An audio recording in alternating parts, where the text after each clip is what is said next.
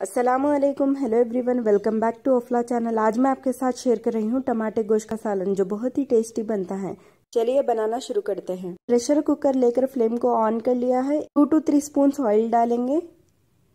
इसमें two medium size chopped onions डालेंगे। प्याज को थोड़ा पकाना है थ्री टू फोर मिनट्स के लिए। इसमें छह से सात हरी मिर्च डाल रही हूँ।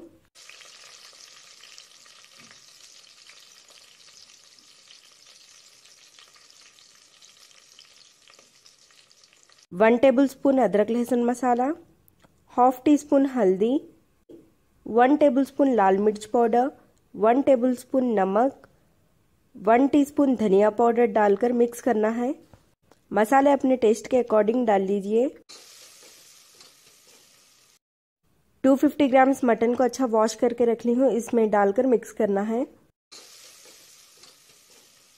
इसमें वन ग्लास पानी डालकर, प्रेशर कुकर का लिड बंद करके सीटी लगाकर तीन से चार विसल्स आने तक पकाएँगे।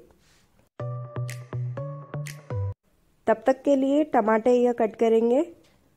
हाफ़ के जी टोमेटोज को अच्छा वॉश करके रख ली हूँ। इसको रफली चॉप करेंगे।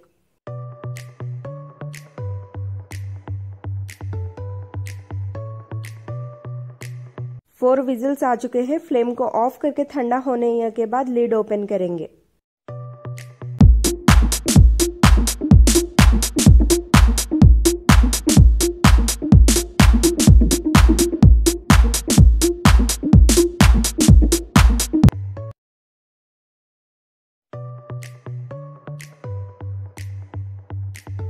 Roughly chopped tomatoes.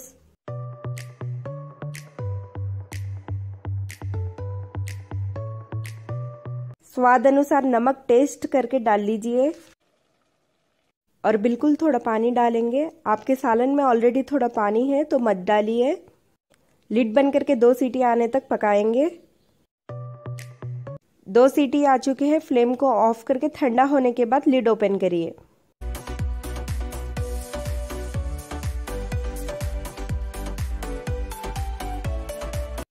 Mutton pieces को एक बाउल में निकाल देंगे।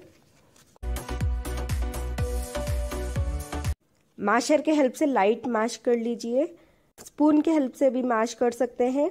फ्लेम को ऑन करके इसमें बारीक कटी हुई धनिया के पत्ते डालकर मिक्स करेंगे और मटन पीसेस को डालकर फाइव मिनट्स के लिए हाई फ्लेम पर पकाएँगे।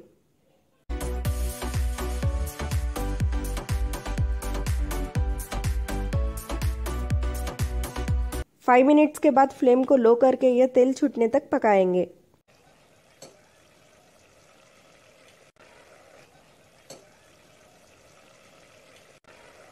तेल छूट चुका है सालन में।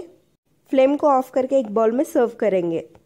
आप इस रेसिपी को ज़रूर ट्राई करिए। आपको इस रेसिपी पसंद आई हो तो प्लीज़ लाइक करिए शेयर करिए अपने फ्रेंड्स और फैमिली मेंबर्स के साथ और सब्सक्राइब करिए मेरे चैनल को और साथ में जो बेल आइकॉन है उसको भी प्रेस करिए ताकि जो भी वीडियोस अपलोड करूँगी, इसके नोटिफिकेशन आपको मिल सके। थैंक यू फॉर वॉचिंग अल्लाह हाफिज़ बाय टेक केयर